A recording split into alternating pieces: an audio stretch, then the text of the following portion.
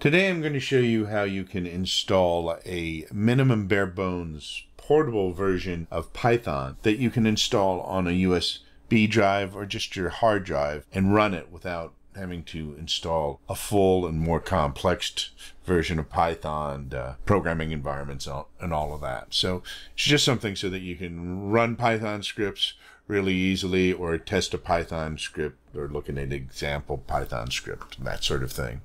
So the first thing we're going to do is we're going to install a version of Python called Portable Python. And if you do a search on Google, you'll see there are a number of them. We're not going to use the first couple here, including the one called Portable Python at the top. We're going to use the one down here at SourceForge called Portable Python Download. So we're going to go to this, we're going to click on here and download. So now we have it downloaded. I have it in a folder called downloads right here. You'll see it says Portable Python 3.10.5. That that's the version number there. That will uh, update as they um, update Python and stuff and update this portable version of it. But all we're going to do is we're going to run this program right here, and it's going to extract all the files into a folder that you that you need. Uh, so I'm going to install this under C in on a folder called Portable.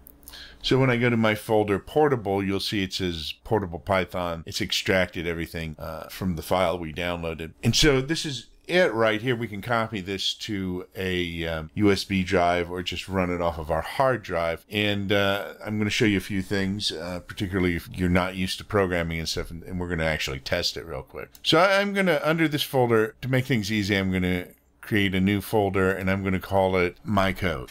And we're going to go to this folder right here. Now, I'm going to create a new text document. Now, you can see right here, it says .txt. If you don't see that, you need to go up to View right here and go to Show. And we see File Extensions. It's checked here. If I uncheck it, you can see that file extension disappears.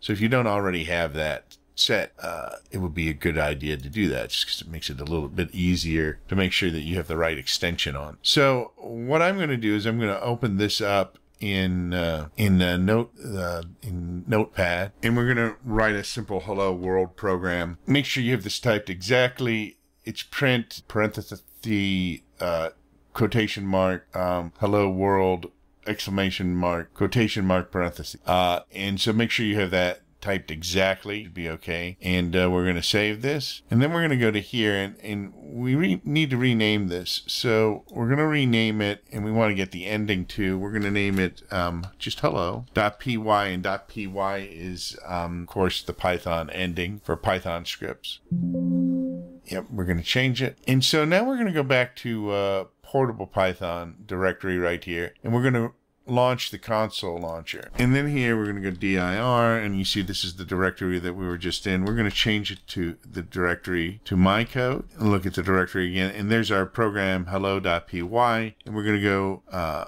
Python and then hello uh, py, and this is the way you would run any script. And there it says "Hello World." It prints off "Hello World." So that's how you install um, portable version, uh, a minimal portable version of Python.